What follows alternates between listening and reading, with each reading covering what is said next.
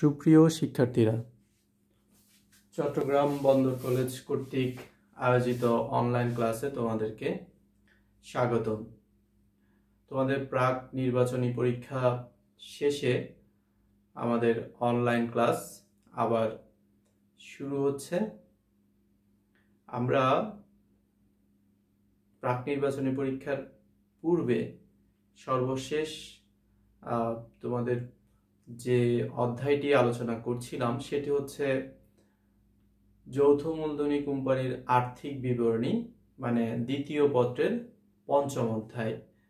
এবং লাস্ট যে ক্লাসটি আমরা করেছি, সেখানে একটি গাণিতিক সমস্যা নিয়ে আলোচনা করেছিলাম। তা হচ্ছে তোমাদের বইয়ের সমস্যা আট। এবং এই সমস্যাটি আমরা বলেছিলাম আজকের ক্লাস থেকে এটি আমরা সমাধান করা শুরু করব। কীভাবে সমাধান করতে হবে? সম্পূর্ণ আলোচনা আমরা করেছি পূর্ববর্তী ক্লাসে। আজকের ক্লাসটি দেখার পূর্বে তোমরা অবশ্যই অবশ্যই আজকের ক্লাসের আগে এই অধ্যায়ের উপর সর্বশেষ যে ক্লাসটি হয়েছিল তা তোমরা দেখে নিবে। দেখে নেওয়ার পর আজকের ক্লাসটি দেখা শুরু করবে। তাহলে প্রশ্ন বুঝতে তোমাদের জন্য সুবিধা হবে। সমস্যা আট যেটি নিয়ে আমরা আলোচনা করছিলাম, সেটি ছিল সোনালী কোম্পানি লিমিটেডের একটি প্রশ্ন এবং এই প্রশ্নে আমাদের এই ধরনের সৃজনশীলে যেরকম ক, খ, গ এভাবে থাকে, সেরকম ছিল না। এটি শুধু একটি কাজ আমাদেরকে করতে বলেছে এটি হচ্ছে তোমাদের বইয়ের ছয়শো সাতচল্লিশ পৃষ্ঠায় সমস্যা আট।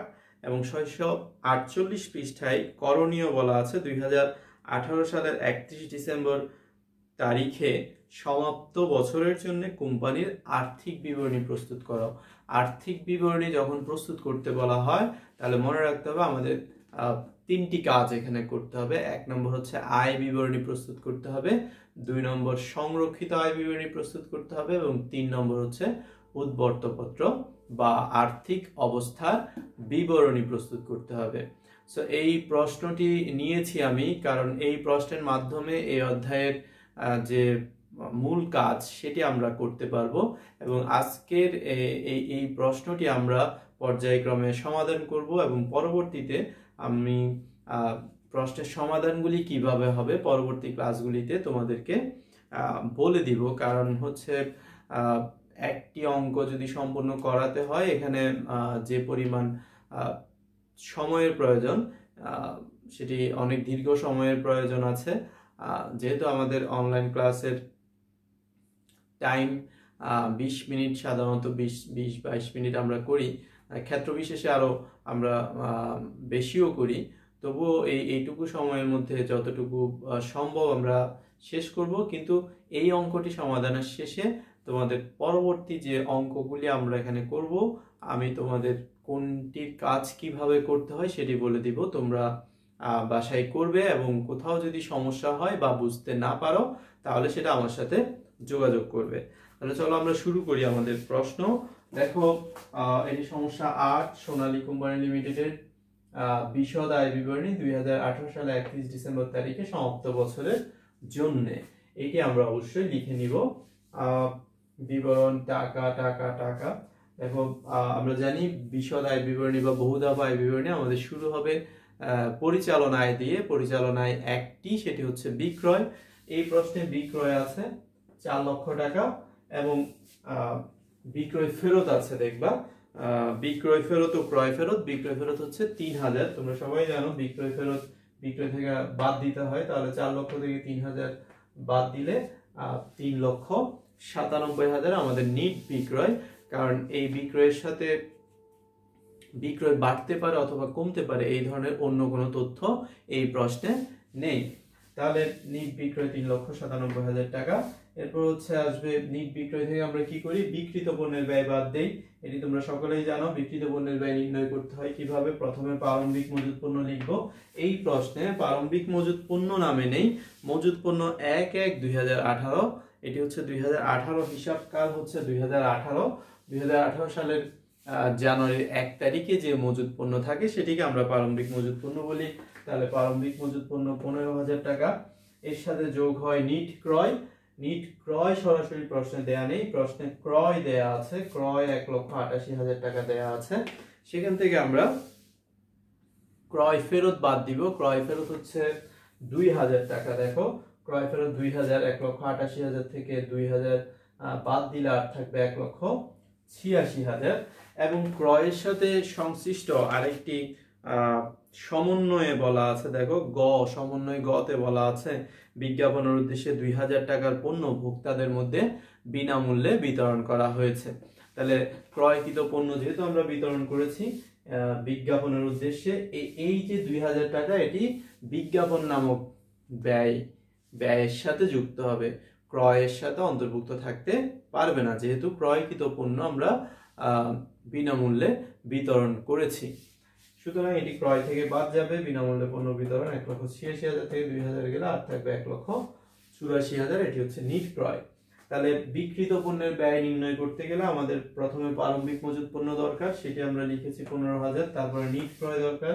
তা নির্ণয় করেছি এক লক্ষ চুরাশি হাজার। এবার এটির সাথে এই প্রারম্ভিক মজুত পণ্য এবং নিট ক্রয়ের সাথে আরও কি যোগ হবে? অন্যান্য প্রত্যক্ষ খরচ। অথবা এগুলিকে আমরা ক্রয় সংক্রান্ত খরচ বলতে পারি। আমাদের এই প্রশ্নে দুটি অন্যান্য প্রত্যক্ষ খরচ আছে। একটি হচ্ছে মজুরি পঁচিশ হাজার টাকা এবং অন্যটি হচ্ছে ক্রয় পরিবহন। ক্রয় পরিবহন আছে পাঁচ হাজার টাকা। তাহলে মজুরি পঁচিশ হাজার এবং ক্রয় পরিবহন পাঁচ হাজার মিলে ত্রিশ হাজার টাকা।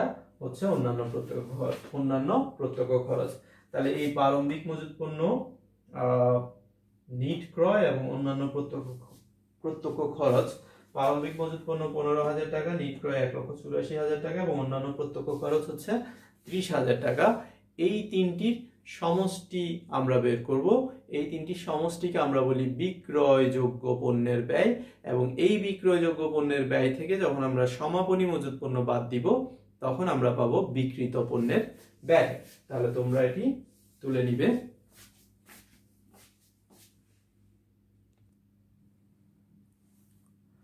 তাহলে দেখো বিক্রয়যোগ্য পণ্যের ব্যয় আমরা পাবো প্রারম্ভিক মজুত পণ্য, নিট ক্রয় এবং অন্যান্য প্রত্যক্ষ খরচ। এই তিনটির সমষ্টি হচ্ছে, দেখো, দুই লক্ষ উনত্রিশ হাজার টাকা। এটি এটির নাম হচ্ছে বিক্রয়যোগ্য পণ্যের ব্যয়। বিক্রয়যোগ্য পণ্যের ব্যয় থেকে তোমরা জানো সমাপনী মজুদ যখন আমরা বাদ দিব, সমাপনী মজুদ দেওয়া আছে সমন্বয়ে পঞ্চাশ হাজার টাকা। বাদ দিলে আমরা যে রেজাল্টটি পাচ্ছি, দেখো, এক লক্ষ উনআশি হাজার টাকা, এটি হচ্ছে বিক্রিত পণ্যের ব্যয়। এবং আমরা শুরুতে লিখেছিলাম বিক্রয়। বিক্রয় থেকে বাদ যাবে বিকৃত পণ্যের ব্যয়। এবং বিক্রয় থেকে বিকৃত পণ্যের ব্যয় বাদ দিলে আমরা কি পাই? এটি এটি তোমাদের সকলের জানা আছে। বিক্রয় থেকে বিকৃত পণ্যের ব্যয় বাদ দিলে আমরা পাবো মোট লাভ। এবার মোট লাভ থেকে আমরা কি বাদ দিব? পরিচালন ব্যয়, এবং আমরা সবাই জানি পরিচালন ব্যয় দুই প্রকার, বিক্রয় বিতরণ খরচ, অফিস ও প্রশাসনিক খরচ। তো প্রথমে আমরা বিক্রয় বিতরণ খরচ লিখছি। বিজ্ঞাপন আছে প্রশ্নে, দেখো চার হাজার টাকা। তাহলে বিজ্ঞাপন লিখব, এবং প্রশ্নে বলা হয়েছিল সমন্বয় গতে বিনামূল্যে ভোক্তাদের উদ্দেশ্যে, বিজ্ঞাপনের উদ্দেশ্যে ভোক্তাদের বিনামূল্যে পণ্য বিতরণ করা হয়েছে। তাহলে বিনামূল্যে পণ্য বিতরণ আমরা জানি এটি বিজ্ঞাপন, তাহলে বিজ্ঞাপনের সাথে যোগ হবে চার হাজার, দুই হাজার হচ্ছে ছয় হাজার। এবং বিজ্ঞাপন নিয়ে আরেকটি কথা প্রশ্নে বলা ছিল, দেখো, যে মোট বিজ্ঞাপনের তিন ভাগের এক অংশ অবলোকন করতে হবে। অবলোকন মানে হচ্ছে তিন ভাগের এক অংশ খরচ হিসাবে দেখাতে হবে। দেখো, ছয় হাজার টাকার যদি তিন ভাগের এক ভাগ খরচ দেখায় তাহলে ছয় হাজার টাকা তিন ভাগের এক ভাগ হচ্ছে দুই হাজার। তাহলে এখানে যদি দুই হাজার দেখাতে হয়, তার মানে তিন ভাগের এক অংশ অবলোপন মানে হচ্ছে তিন ভাগের দুই অংশ বিলম্বিত, যেটাকে পরবর্তী হিসাবকালে স্থানান্তর করা হবে। তাহলে ছয় হাজার টাকা তিন ভাগের দুই অংশ হচ্ছে বিলম্বিত। সবসময় আমরা বিলম্বিতটা বাদ দিব। অবলোপন বলতে পারে যতটুকু অবলোপন হবে, অবলোপনটা বাদ দিলে অবশিষ্ট যা থাকবে সেটি হচ্ছে বিলম্বিত। বিলম্বিত তিন ভাগের দুই ভাগ, তাহলে ছয় হাজার টাকা তিন ভাগের দুই ভাগ, চার হাজার টাকা। তাহলে বিজ্ঞাপন বাবদ খরচ, ছয় হাজার থেকে চার হাজার বাদ দিলে আমরা পাবো দুই হাজার। এরপরে দেখো প্রশ্নে দেওয়া আছে অনাদায়ী পাওনা, তোমরা জানো, অনাদায়ী পাওনা হচ্ছে বিক্রয় বিতরণ খরচ এবং অনাদায়ী পাওনার সাথে দেখো যোগ, নতুন অনাদায়ী পাওনা সঞ্চিতি সমন্বয়ে বলা আছে। দেনাদারের পাঁচ পার্সেন্ট অনাদায়ী পাওনা সঞ্চিতি তৈরি করতে হবে। দেনাদারে পাঁচ পার্সেন্ট তাহলে এই এই প্রশ্নে দেনাদার দেওয়া আছে বিবিধ দেনাদার পঞ্চাশ হাজার টাকা। পঞ্চাশ হাজার টাকার পাঁচ পার্সেন্ট হচ্ছে দুই হাজার পাঁচশো। তাহলে দুই হাজার এবং দুই হাজার পাঁচশো মিলে চার হাজার পাঁচশো। আমরা জানি এখানে আমরা অনাদায়ী পাওনা খরচ ধার্য করি।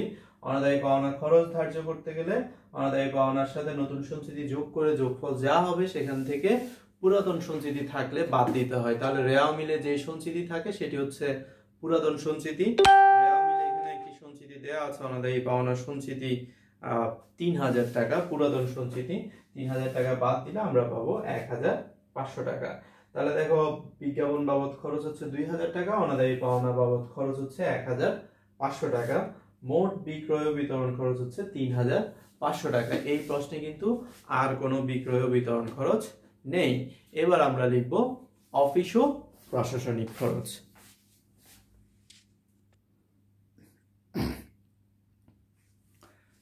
তাহলে দেখো এবার অফিস ও প্রশাসনিক খরচ। আমাদের অফিস ও প্রশাসনিক খরচ, আমরা বিক্রয় বিতরণ খরচ লিখেছি। বিক্রয় বিতরণ খরচ ছিল আমাদের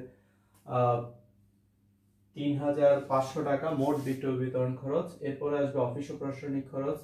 বেতন আছে চব্বিশ হাজার টাকা এবং একদম প্রথম আমাদের যে সমন্বয়, সেখানে বলা আছে খ নাম্বার সমন্বয়ে বকেয়া বেতন পাঁচ হাজার। বকেয়া বেতন, বকেয়া যোগ হবে এটা আমরা সকলেই জানি। চব্বিশ হাজার আর পাঁচ হাজার মিলে দেখো, উনত্রিশ হাজার টাকা হচ্ছে আমাদের বেতন বাবদ ব্যয়। ভাড়া আছে, প্রশ্নে দেওয়া আছে পঁয়ত্রিশ হাজার টাকা এবং খ নং সমন্বয়ে বলছে ভাড়া এক হাজার টাকা অগ্রিম প্রদত্ত হয়েছে। অগ্রিম ভাড়া প্রদান করলে এটি নির্দিষ্ট সময়ের চেয়ে অতিরিক্ত সময় এর জন্য ব্যয় করা হয়েছে আমাদের হিসাবকাল দুই হাজার আঠারো সাল। কিন্তু তার পরবর্তী হিসাবকালের জন্য এক হাজার টাকা পরিশোধ করা হয়েছে। তাহলে পঁয়ত্রিশ হাজার থেকে অগ্রিম বাদ দিব আমরা। এক হাজার বাদ দিলে আর থাকে কত? চৌত্রিশ হাজার টাকা।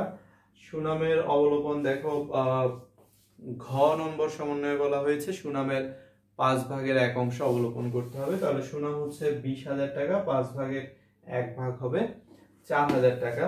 একইভাবে তারপরে চ, সমন্বয় চতে বলা হয়েছে আসবাবপত্রের উপর পাঁচ পার্সেন্ট এবং যন্ত্রপাতির উপর দশ পার্সেন্ট হারে অবচয় ধার্য করতে হবে।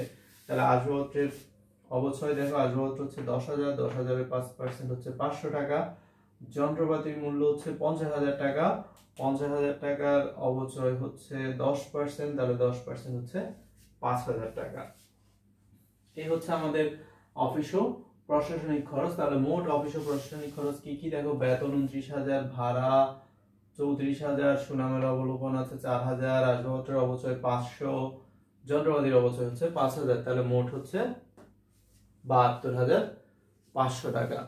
মোট অফিস ও প্রশাসনিক খরচ হচ্ছে বাহাত্তর হাজার পাঁচশো টাকা, মোট বিক্রয় বিতরণ খরচ হচ্ছে তিন হাজার পাঁচশো টাকা, তাহলে মোট পরিচালন ব্যয়, মোট অফিস ও প্রশাসনিক খরচ এবং মোট বিক্রয় বিতরণ খরচ, এই এই তিনটার দুইটার যে যোগফল, সেটি হচ্ছে মোট পরিচালন ব্যয়।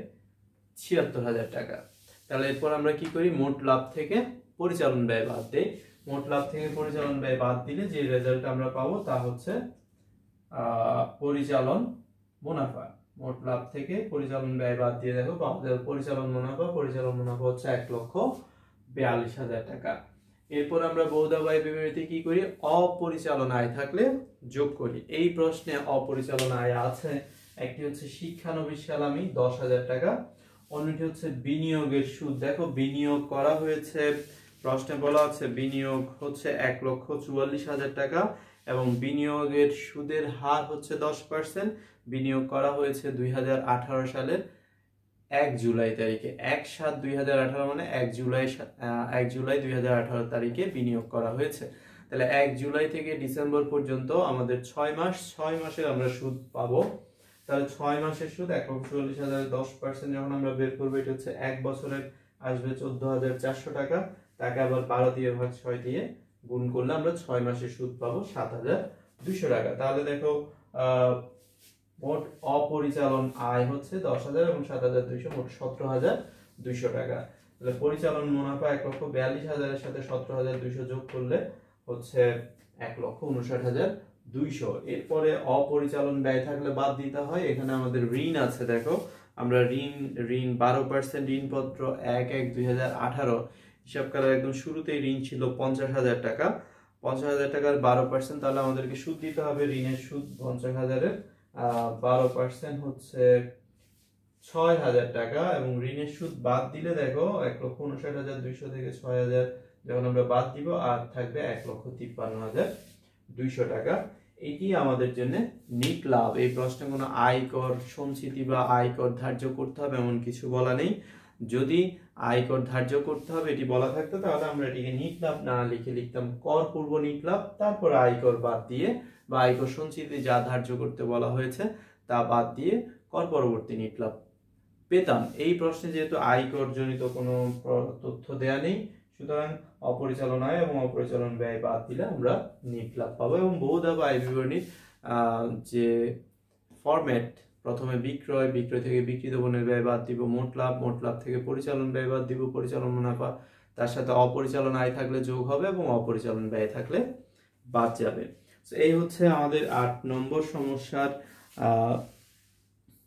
বহুদাফ আয় বিবরণী বহুদাফ আয় বিবরণীর পরে আমরা পরবর্তী ক্লাসে সংরক্ষিত আয় বিবরণী কীভাবে করতে হয় তা দেখব এবং আর্থিক অবস্থার বিবরণী কীভাবে করতে হয় তা দেখব। মূলত এই এই বহুদা আয় বিবরণী কিন্তু তোমাদের প্রথম বর্ষের সাথে হুবহু মিল আছে। সংরক্ষিত আয় বিবরণী এটি আমাদেরকে নতুন করে শিখতে হবে, যেটি আমরা প্রথম বর্ষে করিনি। যৌথ মূলধনী কোম্পানির জন্য কীভাবে সংরক্ষিত আয় বিবরণী করতে হয় তোমরা একটু সংরক্ষিত আয়ের যে ছকটি তোমাদেরকে দেখিয়েছি, সেটি আবার দেখে নিবে এবং আর্থিক অবস্থার বিবরণী বা উদ্বর্তপত্র এক মালিকানা প্রতিষ্ঠানে যেমন ছিল মানে তোমরা যে প্রথম পত্রে করেছ, এখানেও আর্থিক অবস্থার বিবরণী একই একই থাকবে। মানে সম্পদ দায়গুলি আমরা লিখব, সম্পদ দায় এবং মালিকের অধিকার। তবে প্রথম পত্রে আমরা যে আর্থিক অবস্থার বিবরণী বা উদ্বর্তপত্র করেছি, তাকে উপস্থাপনার ক্ষেত্রে আমরা প্রথমে চলতি সম্পদ তারপরে বিনিয়োগ, তারপর স্থায়ী সম্পদ এভাবে লিখেছি। কিন্তু এখানে উনিশশো চুরানব্বই সালের কোম্পানি আইনে যেভাবে বলা আছে, সেভাবে আমাদেরকে সাজাতে হবে। মানে সম্পত্তির দিকে প্রথমে আমরা চলতি সম্পদ না লিখে যৌথ মূলধনী কোম্পানিতে প্রথমে লিখতে হবে। স্থায়ী সম্পদ, তারপরে আসবে বিনিয়োগ, বিনিয়োগের পরে আসবে চলতি সম্পত্তি, ঋণ ও অগ্রিম, এবং এরপরে আসবে কাল্পনিক সম্পত্তি। এটি হবে সম্পত্তির অর্ডার এবং শেয়ার হোল্ডারদের যে সত্ত্ব এবং দায়গুলি যখন আমরা বসাবো, প্রথমে শেয়ার মূলধন, তারপরে সঞ্চিতি, উদ্বৃত্ত, তারপরে দীর্ঘমেয়াদী দায় এবং তারপরে হচ্ছে চলতি দায় ও ভবিষ্যৎ ব্যবস্থা। তাহলে সংরক্ষিত আয় বিবরণী এবং আর্থিক অবস্থার বিবরণী আমরা আগামী ক্লাসে করার চেষ্টা করব ইনশাল্লাহ তোমরা এই বহুদা আয় বিবরণীটি করবে এবং কয়েকবার কয়েকবার অনুশীলন করবে। তাতে করে এই প্রশ্নে যে সমস্যাগুলি আমরা পেয়েছি, সেই একই সমস্যা যখন পরবর্তী প্রশ্নে যদি কোনো প্রশ্নে আমরা পাই তাহলে তা যেন তোমরা করতে পারো। এই জন্যে এই প্রশ্নের যে বহুদা বায় বিবরণী আজকে আমরা করলাম, এটিকে তোমরা বাসায় বারবার অনুশীলন করবে। আগামী ক্লাসে আবার দেখা হবে। এই প্রত্যাশা রেখে আজকের ক্লাস এখানে শেষ করছি। তোমরা সকলে ভালো থাকবে, সুস্থ থাকবে। আল্লাহ হাফিজ।